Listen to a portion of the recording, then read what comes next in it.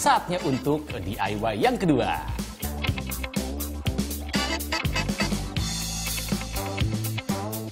Yang pertama, kita buka bagian dalam jam dengan obeng.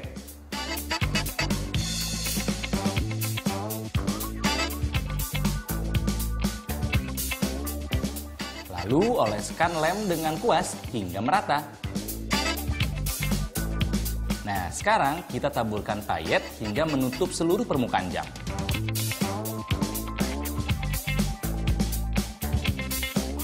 Tunggu hingga kering dan tempelkan kembali bagian luar jam.